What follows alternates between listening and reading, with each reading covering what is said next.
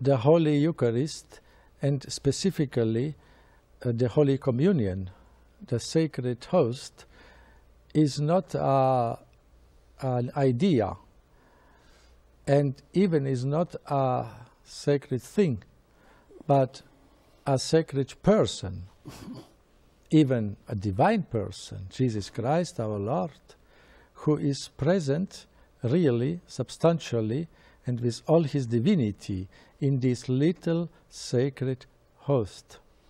And my concern is that to that we should be ever more aware and conscious when people approach to receive Holy Communion that here is the Lord of the universe, God in His unending majesty, who humiliated Himself so much.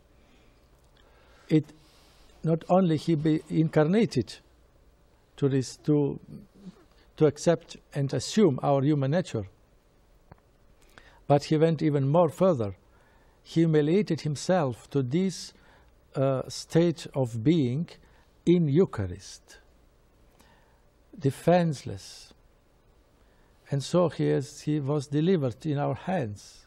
We can make with him what we want. And so I think especially in the moment, the moment of Holy Communion is the moment of the most intimate possible encounter meeting with the Lord in this earth, with our God incarnated.